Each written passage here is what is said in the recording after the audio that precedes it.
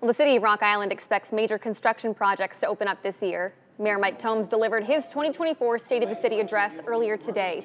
And the mayor says the new $40 million federal courthouse is finally expected to open this year. Also opening will be the new $20 million YWCA on Fifth Avenue. In addition, the multi-million dollar project focused on rebuilding downtown Rock Island will break ground this spring.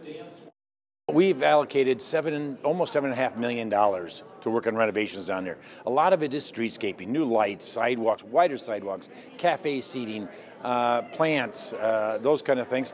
But it's also going to be used for some renovations, some murals, but uh, helping people do facades on their buildings uh, and helping businesses grow.